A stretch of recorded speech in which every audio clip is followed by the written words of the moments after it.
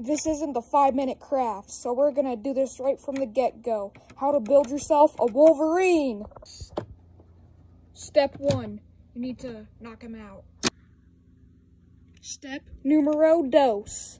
You need to get all that nasty symbiote off of him. Why, I've got the perfect plan. Evil option. I believe in you. Pick the wrong choice. Oh, hi there. Do it.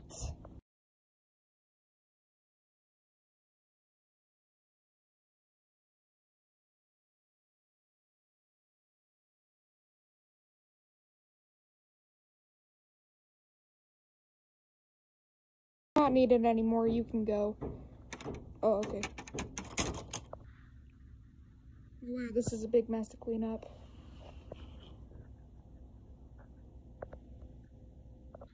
Snap his head on. You may be wondering how I got these Wolverine claws. Well, that's photography, I guess. Good thing this guy's a. Oh crap, I fell down. That just broke the fourth, fourth wall. That's all you're getting in this video, sorry.